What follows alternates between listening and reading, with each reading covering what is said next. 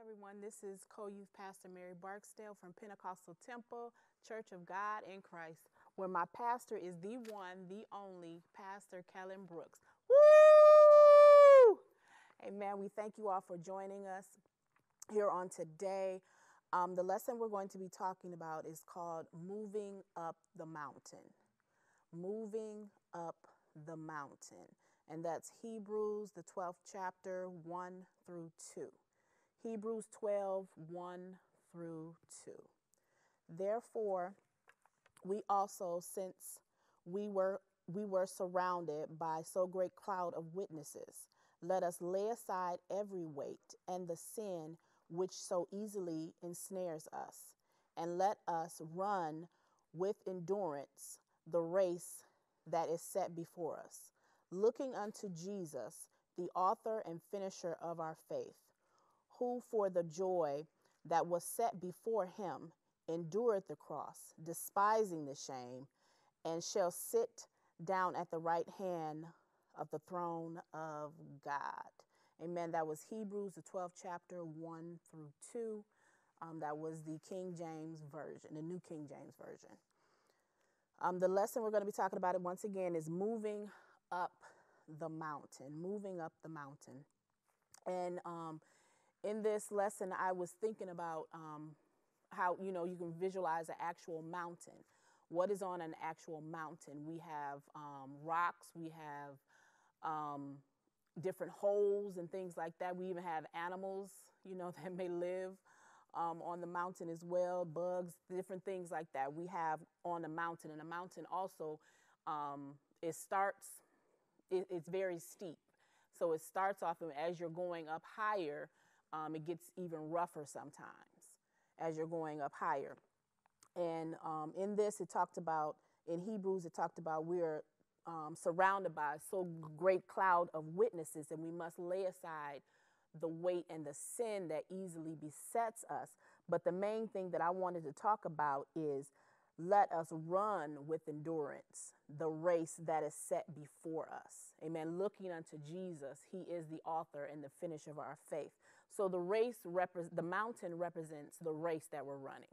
The mountain represents our life. The mountain represents um, our stand for God or, or represents um, our life path. Amen. The path that we take. And sometimes, um, even when we're in God, when we're in Christ, there's still going to be some rough mountains. There's still going to be some rough road. There's still going to be um, some hindrances, some stumbling blocks, and things like that. He never, uh, God never told us, Jesus never told us that it would be just smooth. You know, it's going to be easy because He said to cast all our cares upon Him because He cares for us. So He will make things lighter. For His yoke, our yoke, His yoke is easy, Amen, and His burden is light. So He will make things lighter for us. Amen. That's how we lean and trust and depend on on Him. Amen. But we do have life that happens. We have um, ups and downs, and we have um, troubles and woes. We have sicknesses in our bodies. We have uh, death within the family, death, you know, in, within the job, the home, wherever the case may be.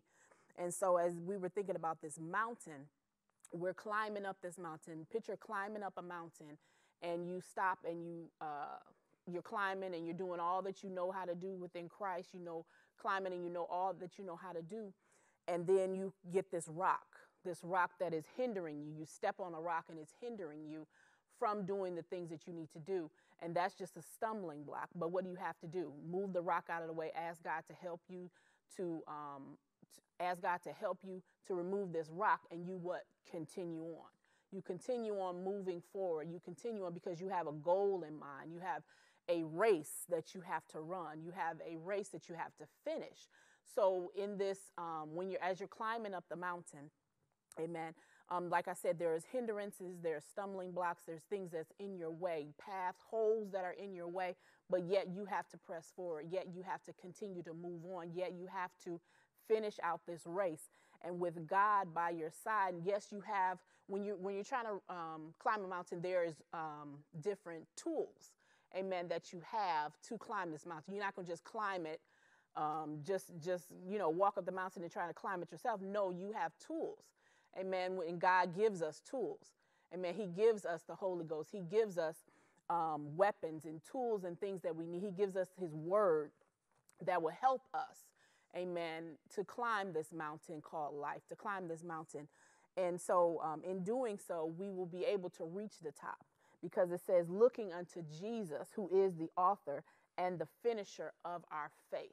Once we look to Him, amen, when we look to Him, then that is who we will depend upon, that is who we will trust upon, that is how we will make it in this life. We can't do it without God. Without God, the Bible says we can do nothing.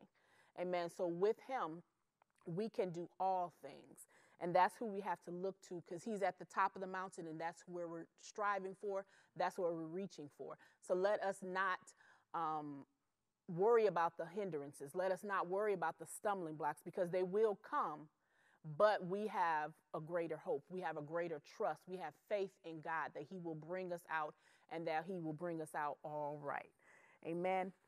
Father God, in the name of Jesus, Lord, I ask that you would continue to help, oh God, and strengthen and encourage each one, oh God, in the name of Jesus, to move um, up this mountain called life, to continue to persevere, to continue to um, help and encourage one another, oh God, in the name of Jesus. Continue, help us continue to look unto you, oh God, the author and the finisher of our faith. In Jesus' name, thank God. Amen.